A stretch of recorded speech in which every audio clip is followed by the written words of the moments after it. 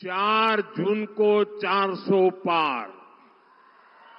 चार जून को 400 पार के मिशन में कर्नाटका की आप सभी मतदाताओं की बहुत बड़ी भूमिका है।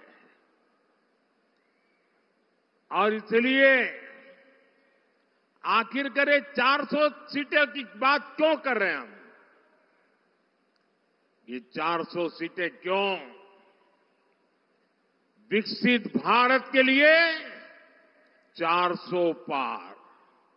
विकसित भारत के लिए, विकसित भारत के लिए, विकसित कर्नाटका के लिए, विकसित कर्नाटका के लिए, गरीबी कम करने के लिए, गरीबी कम करने के लिए आतंक पर प्रहार करने के लिए, भ्रष्टाचारियों पर कार्रवाई के लिए, किसानों की समृद्धि के लिए, युवाओं के नए अवसर देने के लिए,